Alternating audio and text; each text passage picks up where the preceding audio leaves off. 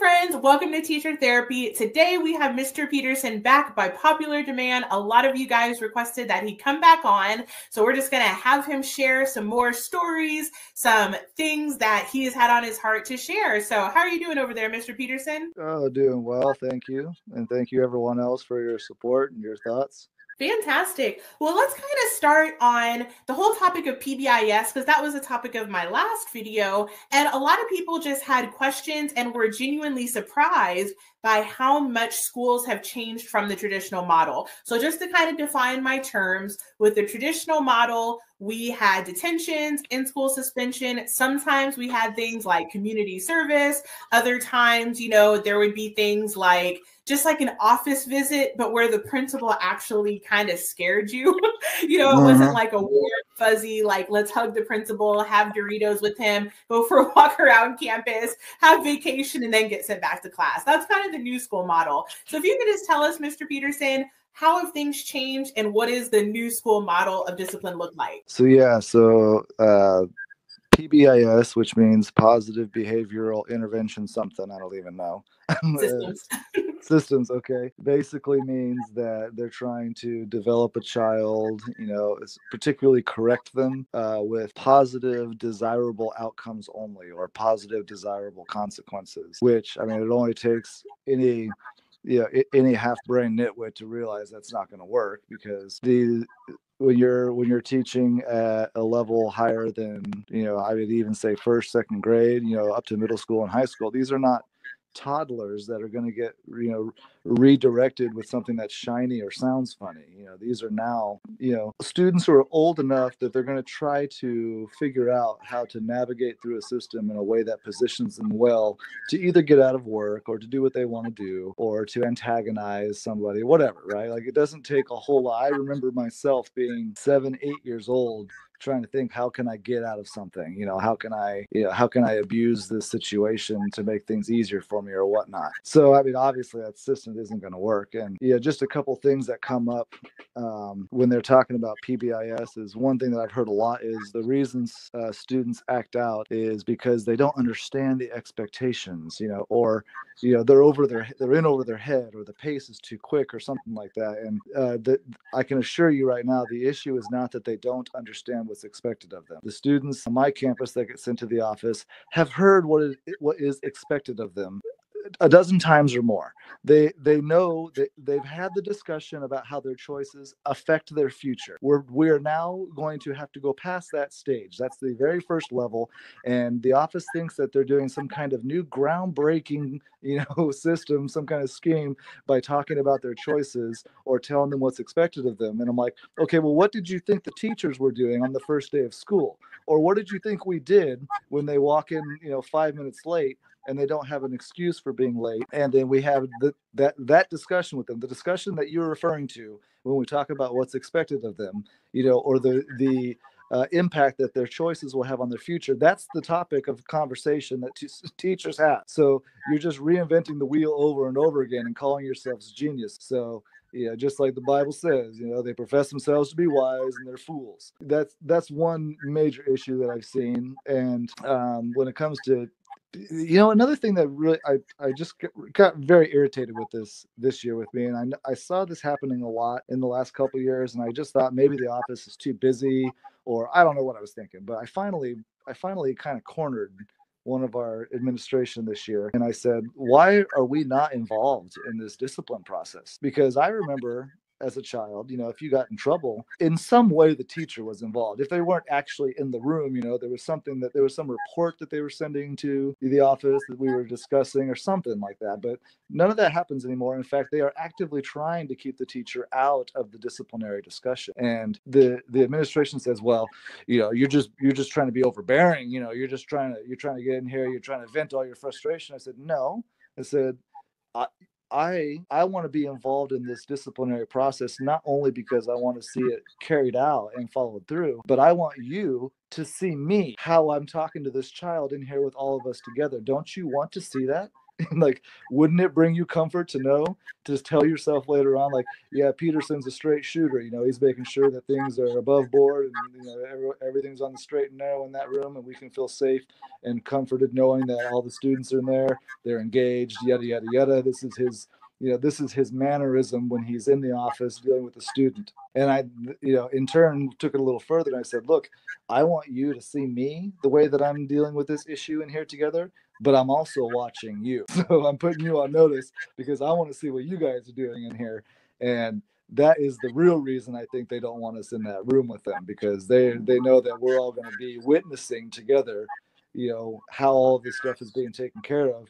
And he doesn't want me in the room or she you know depending on who your administrator is they don't want me in the room watching them kowtow and capitulate to all these children telling them things like you know oh well you know, you, why are you doing this? This isn't the way. This isn't the way that I know you, right? Or whatever they're saying. I'm like, I don't care how you know this child. I care about how I know this child because I'm the one dealing with the child in the room. They come to you here when they're contrite, you know, and when they're when they're walking in, you know, playing their little violin for you, and everything's turning out just fine for them because they know that you do sit in the position, you hold the office that can drop the hammer, and they know that you won't and it's really surprising to me that you can't you know you can't decipher this. You can't navigate through this problem. And so this yeah this positive behavioral intervention nonsense it i mean for anybody really like it's oh, man that's what's so surprising to me as well as a teacher is i'm like i'm looking at these administrators and i'm like you were in the classroom as well how did you forget? Like i guess i mean like just a couple years and you just totally forgot that you're not going to solve this problem you know by talking about their choices the entire year you're going to actually have to hold them accountable at one point. And so then so they don't want you in the room of course when the child is being disciplined. And then you know there's no feedback there's no results you know unless you pester them and you send them messages and you say well, okay what happened with this kid? And you know I, maybe 15 20% of the time i get a response on that. And um, they they they embark upon all of these super overly bureaucratic investigations to make it look like they're being thorough but they're just wasting everyone's time. Like, like oh my god, the tardy policy at my at, you know my campus is like, okay, after a student is you know tardy like five times, and they can be referred to a counselor, and the counselor is going to talk about their choices, and then they, you know they're going to come up with a plan, you know, to get them to show up on time. Which, by the way, you know that plan is supposed to be just show up on time but you know i, I guess it's going to be something different.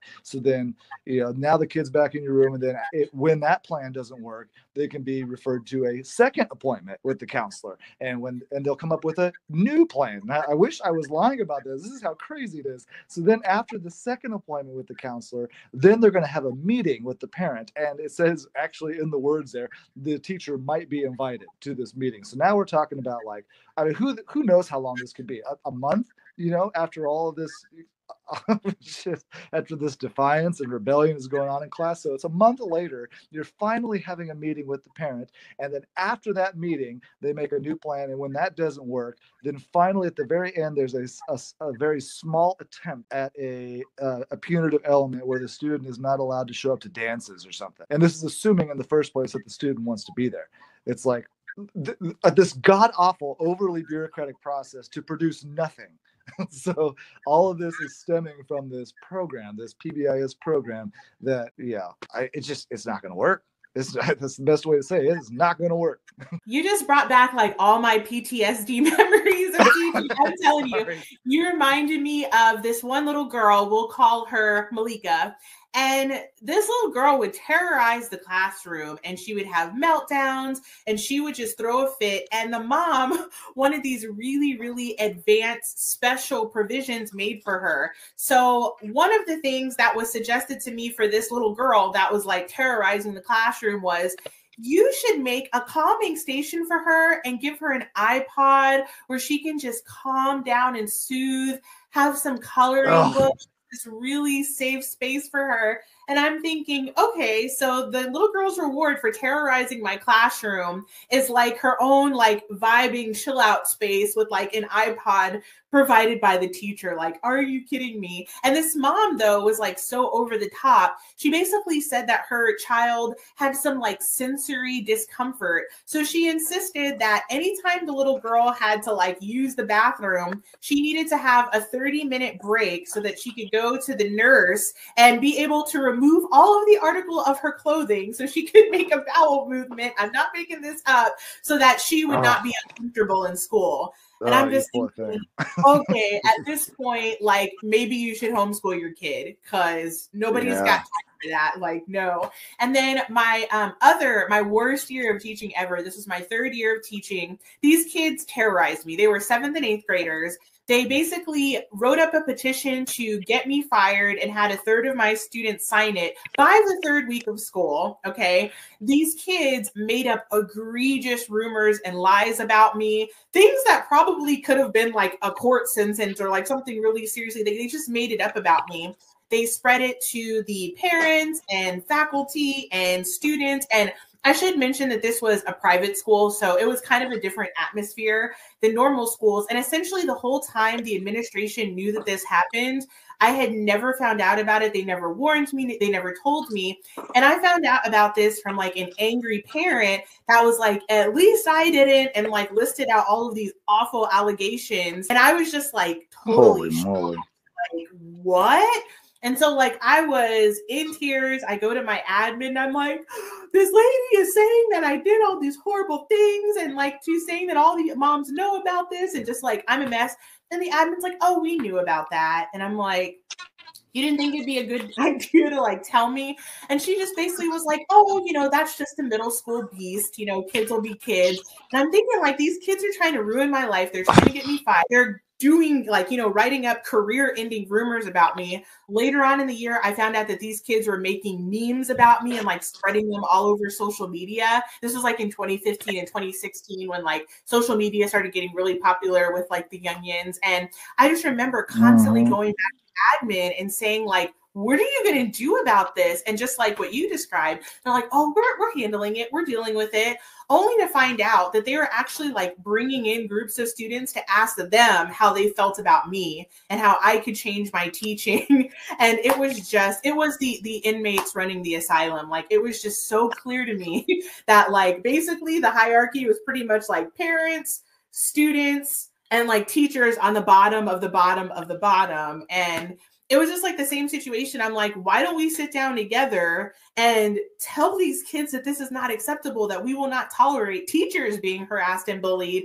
And they're like, no, we don't really think that's a good idea. And I'm just like you said, I think for many of them, like they kind of get to hide cowardice behind pretending to do something while all the while they're actually just like buttering up these kids and their families full well knowing that these people can potentially destroy a teacher's life and they're just like not doing anything about it. So that's just a little bit of like, you know, my teacher PTSD history. wow. Man, yeah. I'm so sorry to hear that. I know, I, mean, I'm, I know. I'm Thank furious. You. I'm furious just listening to that. Like, I mean, yeah, if that if that happened to me, I would just be a match in a cotton field. I mean, I would I would just straight up tell I was like, you guys are gonna be the most famous people in America tomorrow. Like, I've yeah, I, I will just I, I, will just unleash the wrath of God upon you. like uh, that's yeah, so good. That's, like I'm just way too nice for my own good, apparently. So well, you know, it's really hard to like you know when you're in a situation like that, really figure out you know how to fix something like that. And there might not even be a way. It's uh mm-hmm. yeah, I'm so sorry to hear that. Have you ever had like parents kind of like scheme against you or try to get you in trouble, like in your whole history of teaching? Yeah, uh, when I started teaching at a high school a number of years back, there was a, a, healthy amount of parents that, for whatever reason, weren't thrilled about me getting the job there. And the school had, I think, kind of like a history of nepotism, you know, where you know certain people were only going to come in and teach there, and I guess I, I guess I was the unpopular one, and yeah, they behind my back, not even knowing about it, you know, sending information to the school board, and it was just like a constant battle. And uh, but nothing like what you mentioned, you know, like it was, uh, it was just something I didn't realize that I was fighting against until it was over, and then I was already gone anyway. But yeah, it does happen. Yeah, I think that most people wouldn't believe that sometimes like parents act as bad or worse than the kids, and then of course you wonder like where are the students getting it from? A lot of times getting it from at home. Yeah, so you, you, find out quick when you talk to some of these parents for sure. Yeah, that's what I was going to ask you. Like, have you seen as an overall trend parents wanting to defend their students when you call home with a complaint? Yeah, I guess I would say about half and half. Okay. Um, some parents that um, you know that are really supportive of teachers, and then like especially in smaller towns where everyone knows everyone's business. You know, the parents don't want that information getting out. You know, if they have a you know an honorable name or something. But yeah, I've had the other half where they you know they'll just go off on me on the phone. And I've even had to say, I was like, look, you got to compose yourself and we'll talk to each other later. I'm not listening to this. And then they're like, I can't believe you say that to me. You know, get all crazy on the phone. And then, yeah. So it's, it's about half and half. Yeah, I think that's something that like so many people that are non-teachers don't realize the, we're getting pressure from admin. A lot of times we're getting pressure from parents. We're getting tons of pushback from students. And then as, as a society, like a societal whole, there seems to be like a general disdain for teachers right now. And so it is just like such a demoralizing job.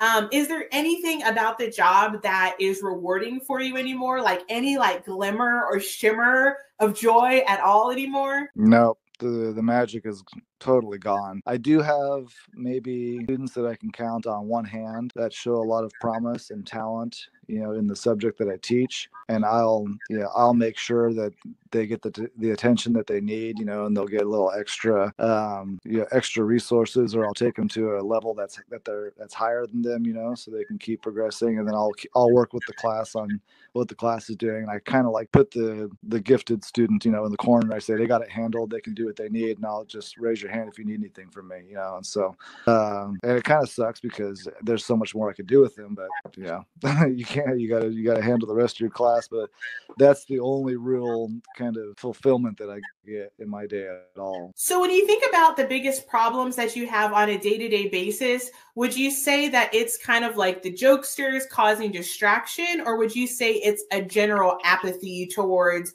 doing work and just feeling like you're kind of having to drag students along? The latter, I would say, is probably a bigger problem. The the jokesters com- compound the issue because nothing's going to get done about that. So you have this issue where you're trying to drag things along, and then it's also collapsing underneath your feet. You know, because the the jokester is going to keep capitalizing off of that, and then the then it's a contagious of course you know so after by the time a month or two comes you know comes around the corner now you've had one problem of a jokester making your life miserable and it turns into two and then four and then eight and so now you have half a class that is just yeah making your time completely wasted mm-hmm. how do you feel about the recent push for technology in the classroom because i just feel like the last several years with just the push, at least in my districts, for every student to have an iPad or every student to have a Chromebook, I felt like half of my teaching time was trying to get them to stop FaceTiming each other and texting each other and like, I don't know, drawing like digital art. Like it was just maddening. Have you experienced that too? Yep and it's a terrible terrible idea. The the problem with all of this technology is it gives everyone the illusion that people are getting smarter. And all they're doing is getting better at using the ipad or getting better you know at interfacing their phone with whatever they're doing in class and they're not getting smarter they're actually getting dumber.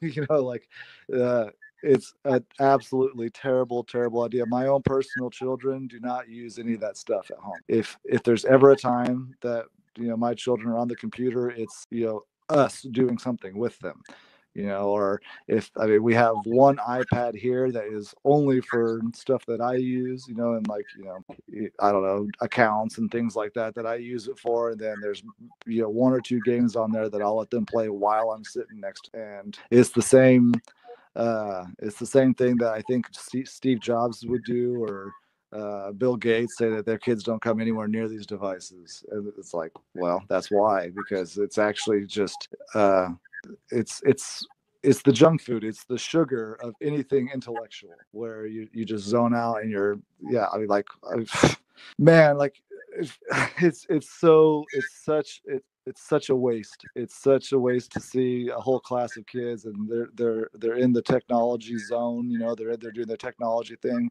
Nothing is getting better. Yeah, like uh, they're they're not able to spell.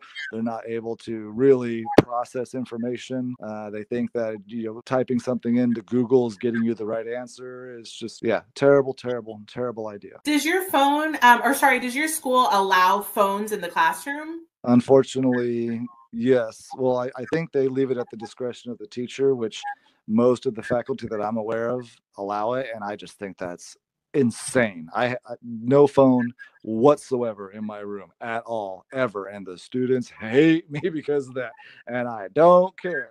You know, if I see, I, that's the rule in my room. There's signs all over the place. If I see your phone, even if I see it in your pocket, it goes to the office, and they hate it. They hate it. And I just, a student walks in, they got their phone in their hand. I'm like, "Yep, give me your phone," and they're, "Oh no," they're you know, and they're you know, raising hell about it. And I just say, yep, let me see that phone because it's gone, go, gone, go, gone.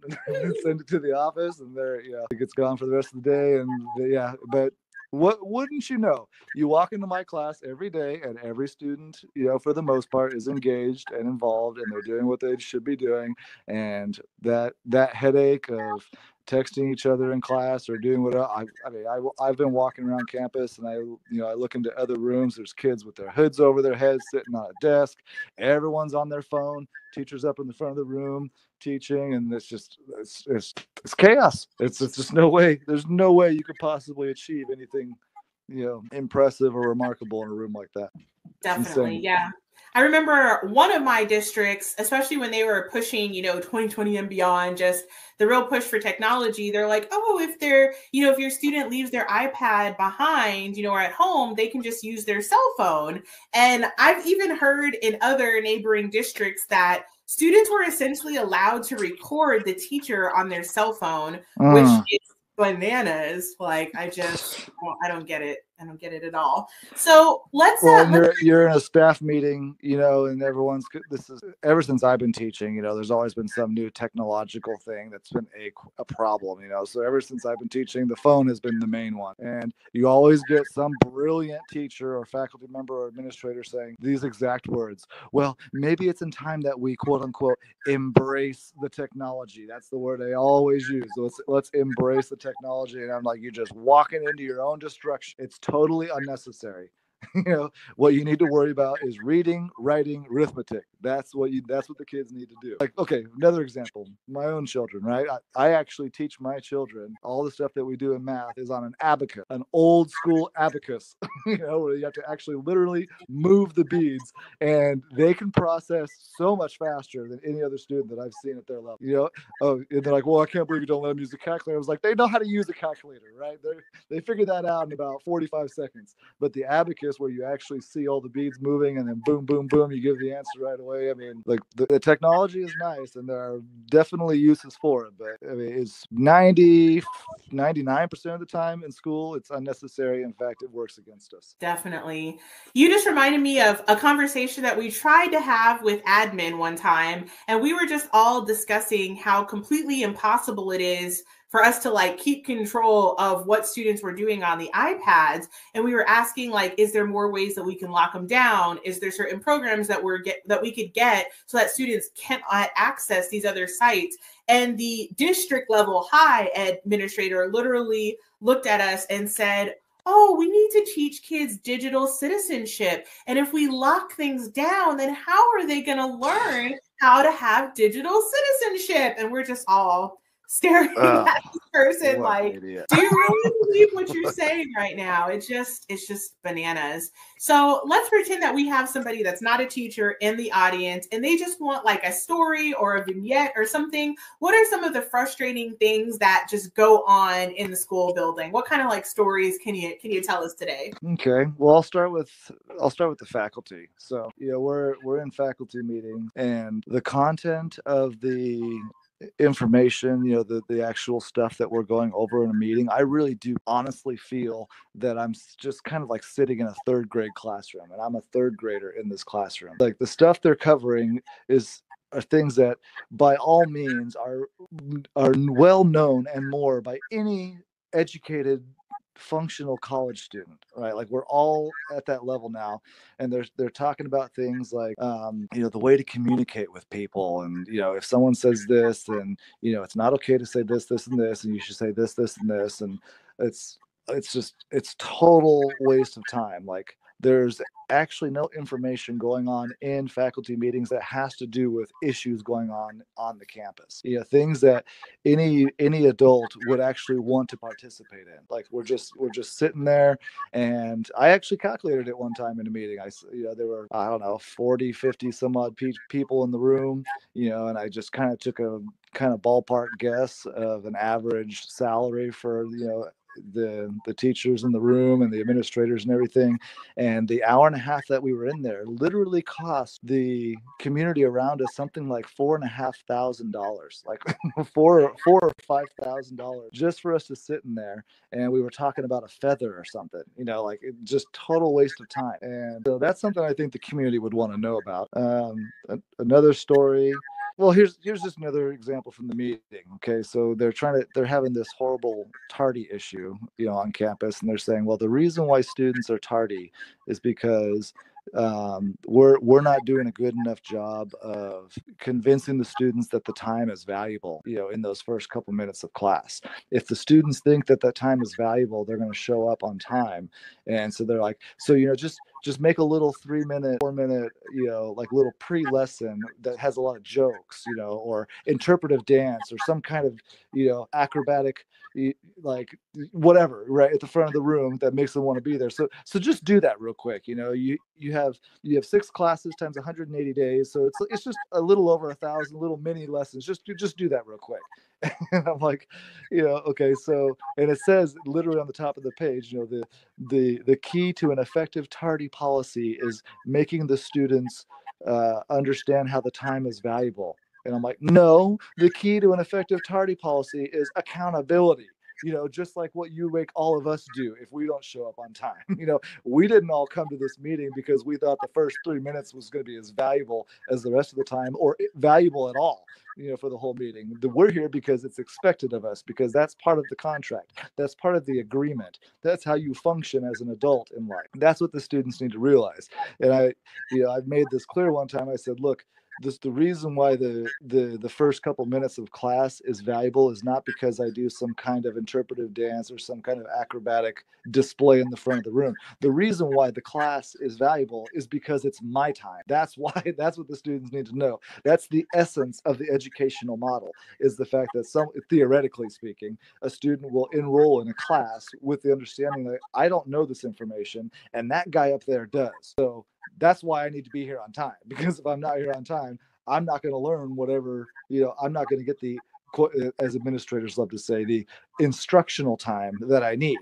Right. So that's the only, that's as far as the argument goes. That's the only thing the student needs to know. That's the only thing the adult needs to know is that it's my time and that when there's when when the witching hour comes it's it's showtime it's business and, and when that you know when the bell rings I don't give the class a three minute cushion, you know, to get there. They get a one second cushion. As long as it takes for that bell to ring, that's as much time as you have. That's your that's your window of opportunity to be here on time. And so that's that's a lot of the stuff that they talk about in staff meetings is they gas they'll, they'll gaslight this concept and turn it into a whole 45 50 minute session about how you can make your you know first three minutes you're more valuable to the students like um yeah like sort of what you touched on earlier about the you know, all, all of the waste or all of the the extra unnecessary work or effort that goes into this stuff it reminds me of a frasier episode where he has a cricket in his apartment, you know, and he's spending his whole time during this episode trying to catch this cricket, and finally comes to the realization that he just needs to get an apartment for himself and an apartment for his cricket, and that's that's the efficiency, you know, of the, of the public school model. Is that, well, that's just all we got. Like my my buddy who's a teacher thought of the same, thought of something similar, where he said, you know, we go to these staff meetings and they spend so much time talking about how they're going to raise up a couple points on some very isolated specific demographic that no one's talking about. The gaping hole in the side of your ship we'll get together and for hours and hours talk about the most effective means of bailing out water. You know these buckets work better than the buckets we're using now. So we're going to learn how to use these buckets um, you know so we can bail out this water. But don't mention the giant gaping hole in the side of our ship. And i think the community would like to know that. Now when it comes to the students and and stop me if you need me to stop. No you're good. Okay so uh, just another story on the students. So like, um, you know, before we, uh, I think it was uh, our, our, conversation before we were talking about how the students really think they have a lot more power than they really do, or they think that their that their position is much higher than what it really is and you know they'll, they'll say to you all the time like i don't even want to be in this class or something like that and it turns into an argument or some kind of display of challenging your authority or whatnot in the room and you know finally i just said look you know that no one's asking if you want to be in this class right no one asked you and no one's going to. No one's asking me if I want you in the class. We're just stuck together. I'm stuck with you and you're stuck with me. You know, and I'm like, I don't mean this to try to be a jerk. I'm just saying that's that's the reality. Like, and for some students, it finally hits them. They're like, yeah, you know what? No one did ask me if I want to be in this class. I'm like, so just stop saying that in class because the the question was never poised to you. I'm so glad that you brought up so many of these topics because just so many memories are coming back to my mind when you were talking about the faculty meeting. I remember just a couple where we like kind of tried to push things. And one of them was the fact that basically we were having most of our student body anywhere between one to three years behind. And I don't know about how your school district does it, but they were very much like, we need to stay on the curriculum. We can't get a day a, day off of the curriculum. And we're basically saying, you know, like if you were to use the topic of math, for example, we're thinking they can't learn algebra because they still don't know how to multiply and divide. We need time to fill in those skills. And it was just fascinating to watch the administrators essentially say, oh, they don't need those skills, just teach them algebra. And it was just like, no, it doesn't work that way. And it's just, it's almost weird. It's almost like they don't have critical thinking skills sometimes. It's very bizarre. And then on that same vein, I remember another yeah. time where it was a year where there was a ton of student misbehavior and student and teachers were genuinely trying to talk to the administrators and say, we really need support we need behavior programs. We need something to happen because we we can't even get through any of the lessons because there's so many interruptions and there's so many issues. And basically the administrators would just completely like you said gaslight us and say if you were more interesting if you were more entertaining if you made the students more invested if you built more relationships then you wouldn't be having any of these problems and so it's just this awful cycle basically of it's all the teacher's fault. Students have no accountability, no responsibility. It's almost like they come as, I guess, a blank lump of clay.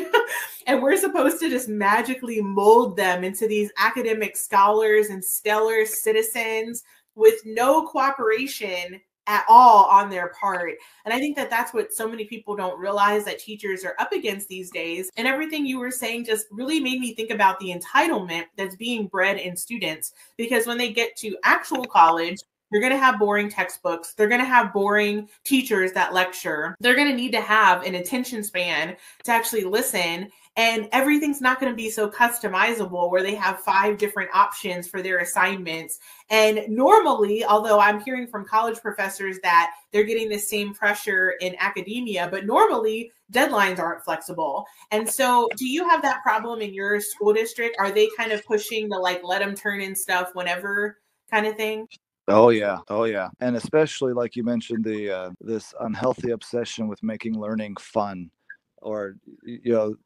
as I was explaining to one of my administrators, that uh, every adult is going to learn quite abruptly when you get into the workforce that for the majority of your functional adult life, you're going to be sitting in a room and there's going to be someone in front of the room dishing out instructions or just information and it's up to you how to absorb it and retain it they're not interested in all in your learning style they're not interested in all in repeating themselves or coming up with four or five different ways of getting the point across. When you're in a business, the person in charge of that business is going to be giving you information and you're going to be taking it. And that's the way it works. And it's dull and it's boring. And it's dull and it's boring because it works so well.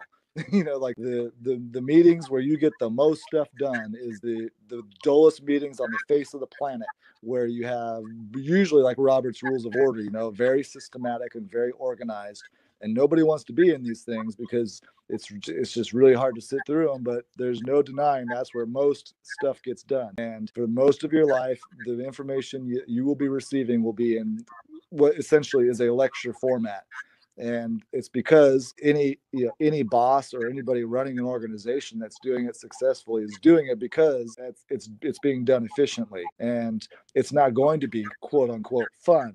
It's going to be work you know it's you have to have mental discipline to sit there and be able to take that amount of information for most of the rest of your life. And, and be, so you really ask the question well what what what did people think school was for like you know maybe all the way back to first and second grade you know you introduce this concept in maybe five to ten minute spurts and by the time you're in middle school and high school it's 45 minutes to an hour long. And when you get into the workforce you're going to be sitting in meetings for hours sometimes and you just got to make it work.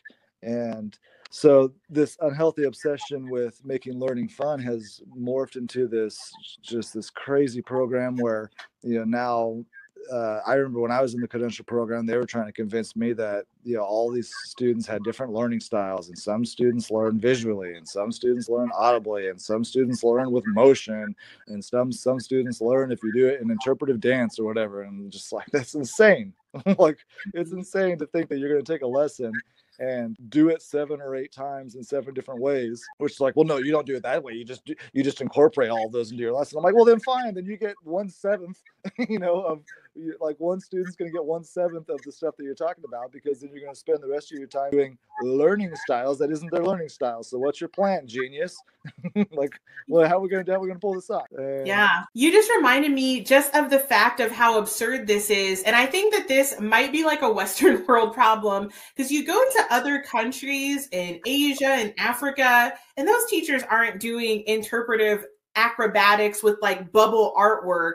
They're in rows in a chair. The students are quiet and listening, even at really young ages. And that's the expectation, and kids meet the expectations. Yep.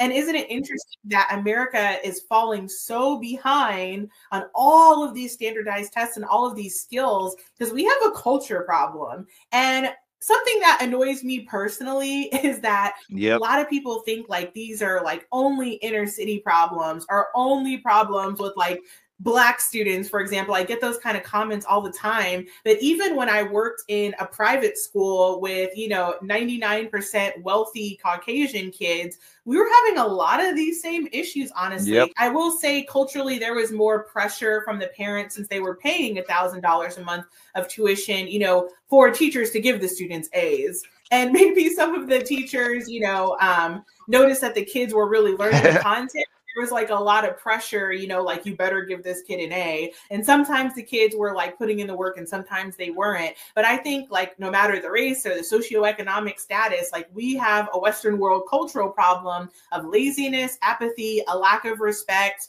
and this just enormous entitlement, thinking that everything should be fun and feel good and be customizable and be flexible and be up for negotiation. And I'm hearing from like literally every sector, from like people that manage McDonald's to people in the military. Like they write me and they tell me, like, oh my gosh, I'm seeing these same issues with Gen Z. Like they cannot take commands, they cannot take orders. They want to, they're basically everybody, mm-hmm. like from Gen Z, it feels like, is walking into places places and thinking that they can set the rules, the tone, the standards. And people just don't realize, and their parents are supporting them, but people don't realize that it's impossible for one teacher to follow the customizations of 25 people in any context. Like, as soon as you say, like, okay, like you were saying, these kids want interpretive dance and you're going to have another section of the class that's saying like no i need a visual lingu- linguistic representation And just it gets bananas really fast. And at the end of the day what i'm just noticing again and again is the shift of accountability is off the students. Like that's just always what it turns out somehow. Like students are getting taught to kind of claim victim status over everything. And again it's not just you know mm-hmm socioeconomic students of color, sometimes if you go into richer, you know, communities, the uh, the entitlement and the rich kid attitudes are like 50 times worse because then they have like Karen mom supporting them. So I just like to like throw out public mm-hmm. announcements because I get tons of comments like, oh, it's so much better in private school. But like I said, you know, my year in private school pretty much gave me PTSD. It was so bad. The kids were so awful. And so I just think we have like a really serious cultural problem. I think it comes from the movies, the Netflix shows, the songs, the entertainment, and the lack of parenting. And I feel like schools are just like in this awkward position yep of trying to please everybody and it's impossible and that's why like the education system is burning down. So that's my little rant for the moment. I'll let you share your thoughts on that. Amen to that. And even if there was some kind of freak teacher that could customize a lesson for 25 kids every day for 180 straight days the simple question is in what industry does that happen in real life? What would be the point even if you could pull it off? Like there's there's no one no one in business no one in military no one in sports that's going to customize like that. It mm-hmm. simply won't happen especially if your you know if your um, product is team based it's just not going to happen. And so it's it's it, it is a um, it's a campaign and a program that is trying to be placed on teachers so someone can try to say that they came up with the new groundbreaking information or and it's not going to work. It's you you're not going to beat the old school. You know there's nothing like the old school and you try anything else you're just an old fool i like that line i like it so, have you ever yeah. had a scenario where you did have really great administrative support? And if so, what kind of difference did that make for you? The one that I can think of was actually was at the the high school that I taught at, where I was having some some trouble with the parents. But uh, the high school principal was a pretty hard nosed, you know, very very strict on discipline principal. and if i'm not mistaken he was like some naval officer or something you know in in years prior you know so he was very you know regimented he was like the the message was abundantly clear on campus that he is not going to tolerate uh, any kind of misbehavior or um, uh, you know defiance or disrespect from student to student or student to teacher or teacher to student or teacher to teacher. It was very clear that was not going to happen. And I remember there was once or twice. I mean, by the way, everyone, like in case it ever came across that I'm on, I'm in some holier than thou position that I haven't made any mistakes. No, I have made plenty.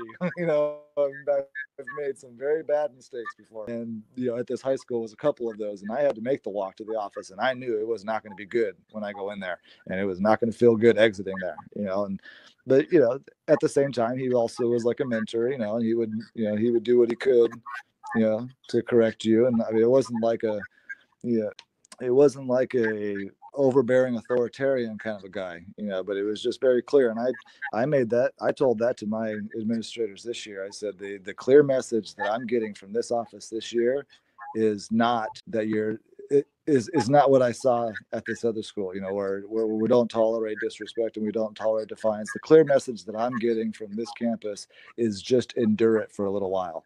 And when we say a little while, it means forever. You know, just just take it. And I'm like, no, I'm not doing that. That, uh, you know, and if you want, if ever want a different narrative to start believing, you're going to have to lay lay down the law. You just, um, ironically enough, at that high school with that principal, as much as I respected him, we didn't actually get along very well. You know, we, it was professional, and we had a, you know, we had a working relationship. But um, yeah, I definitely respected the way that he kept that school under control, mm-hmm. as far as I knew. You know, I'm sure there's probably plenty of things I don't know, but from my experience there, it went pretty well. Yeah. Yeah, it's kind of interesting. I've had a few admins write me because I always feel bad a little bit. I feel like, you know, it sounds like we're always throwing admin under the bus, but a lot of them have kind of let me know, like, look, we're actually like, we're on your side. It's actually like the school district that's breathing down our neck.